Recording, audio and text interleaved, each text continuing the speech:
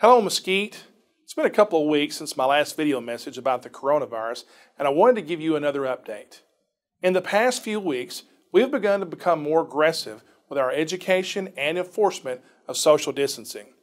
Essential businesses have a responsibility to protect their employees and their customers. City staff is visiting every essential business each week and working with them to enhance their distancing efforts. Our enforcement efforts have also increased, and we will be issuing citations to businesses that are not proactively addressing social distancing.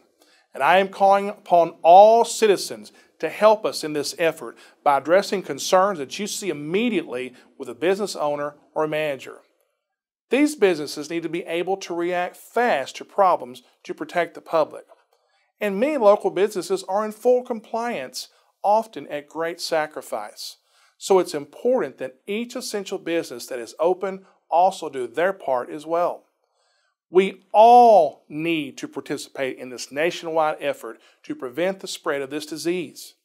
It is our personal responsibility to protect ourselves, our families, and our neighbors.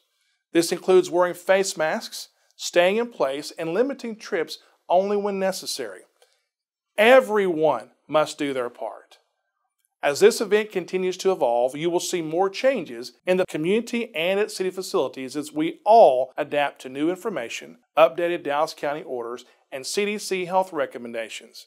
Last week, we placed additional signage at our parks to help educate the public on how to maintain social distancing within the use of the open space and walking trails. We took down basketball goals and took other steps to prevent social gatherings at the parks.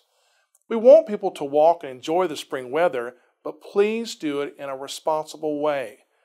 You will begin to see our frontline city employees begin to wear face masks. These are employees who work in close contact with our customers or each other.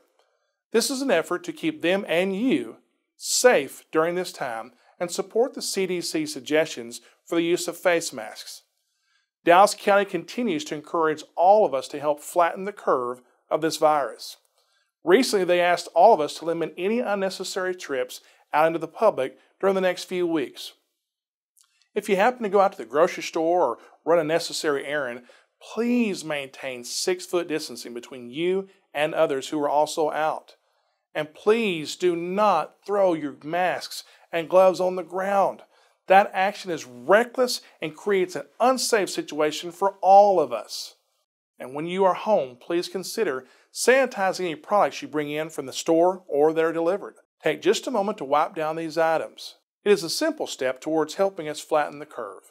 As this event continues to have impacts on our economy, the city is stepping up to help. A few weeks ago, we created a list of Mesquite restaurants that offer curbside service and takeout. Now, we are announcing the new launch of a website for local businesses and employment resources. The Roadmap to Resources website will serve as a source of information for businesses seeking assistance as well as job seekers looking for positions to apply for. And I encourage you to share this information with anyone who has lost their job during these difficult times or a business owner who is in need of some help. Some other changes you may see in our community is drive in church services. Beginning with Easter weekend, the city is providing guidance to local churches wishing to conduct services that encourage safe distances between cars and social distancing practices. At times like this, faith and hope can be so powerful and uplifting. I want to take a moment to say thank you also to a few people. Thank you to our first responders who continue to place themselves at risk to run 911 calls and patrol our streets. Thank you to our general government employees who are keeping essential city services operating both in person and online. And thank you to the entire Mesquite community. So many citizens are doing their part even when it has not been easy. The donation of face masks to our first responders by individual citizens, families, and church groups has been so helpful.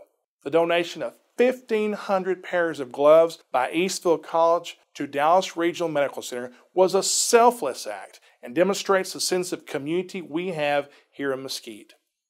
And it has been heartwarming to witness the contributions of food and resources to our local food pantries like Sharing Life Community Outreach and Mesquite Social Services. For example, Mesquite AMBUCS made a $1,000 donation to the food pantries as a part of their support for the city's annual Spread the Love food drive. And volunteers across Mesquite are stepping up in so many ways to help. It is that kind of community spirit and neighborly love that will get us through this temporary challenges. Indeed, so many heroes among us during this time. In closing, please remember that social distancing is the responsibility of every citizen, and we must all do our part. We must have everyone's help to flatten the curve. As a city, we will continue to do all we can to make sure everyone is safe and supported during these times. And together, we will overcome these challenges. Thank you, and on behalf of the entire City Council, I want to wish each of you a blessed and joyful Easter Sunday. May God bless each of you as well as our great city and nation.